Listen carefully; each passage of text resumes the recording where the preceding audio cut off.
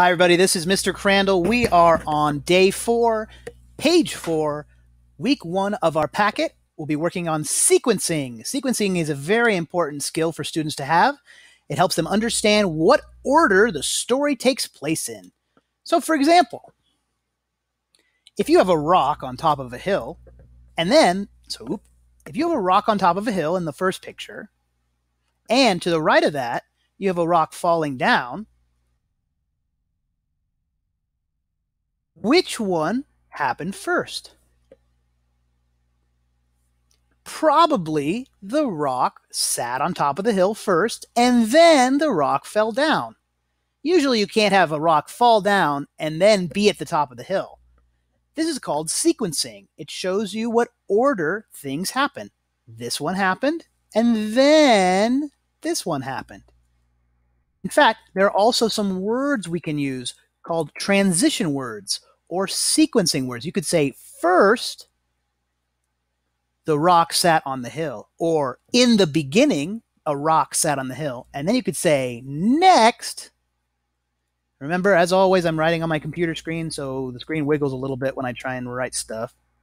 Next, the rock fell down the hill, or then the rock fell down the hill. Those are called transition words. Transition words. Now, in our story, and by in our story, I mean in our page, let's read the directions. Sequence and write a story set. Number two. Directions. Cut and paste the pictures in order. Write about your story. Use transitional words from the word bank. Sequencing words first, next, then, also, after, last, and finally. How to plant a garden. And that's what our story is going to be about.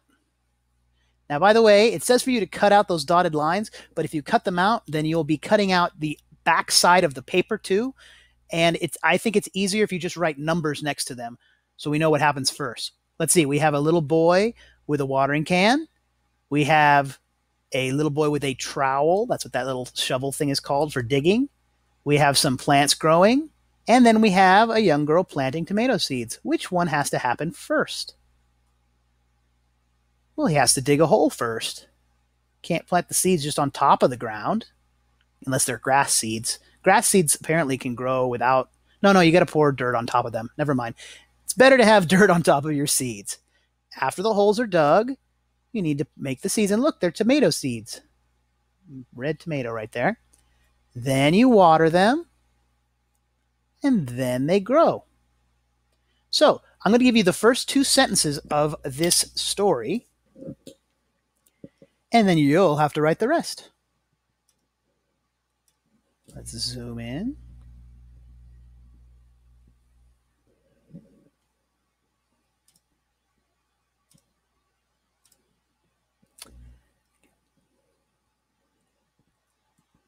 Here is how to plant a garden. Does it say garden or plant plants? Yeah, here is how to plant a garden. First, notice that I'm using one of these sequencing words. You have to use one of these sequencing words in front of every one of your sentences except the first one. First, right there, first, dig holes for your seeds.